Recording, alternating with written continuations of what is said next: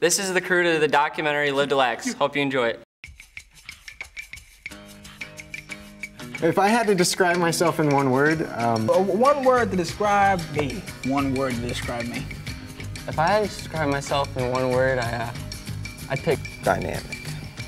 Sarcastic. Awesome is the one word I would use to describe myself. Driven.